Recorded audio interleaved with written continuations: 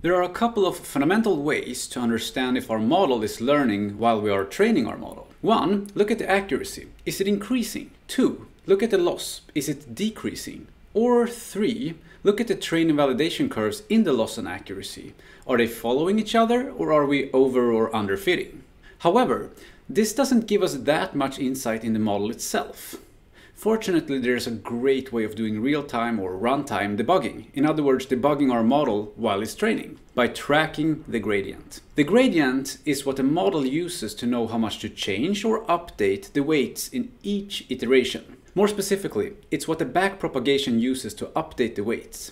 And quick note, if you're not familiar with the term backpropagation, it's the fundamental method behind the training of neural networks invented by researchers uh, including Geoffrey Hinton uh, back in the 1980s. Anyway, if we analyze the gradient in different trainable layers or operations, we can easily see if our model is learning or not. For example, if the gradient is flat or vanishing, our model is not learning.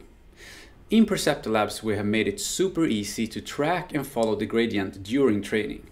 Let's take a quick look and do some runtime debugging. I created a simple convolutional neural network and I used the dataset MNIST. Let's start training the model. If we take a look at the gradient here during training, we can see if the gradient is vanishing or exploding or if it just looks healthy. In this case it looks healthy. We can see that we have a gradient and it's not exploding and it's not vanishing. But if the gradient would have been flat here, for example, it means that the model is not learning. So we need to go back to the model and change some settings and hyperparameters to make it work. And this is a great way to use the gradient to debug your model during runtime. There, ML developers.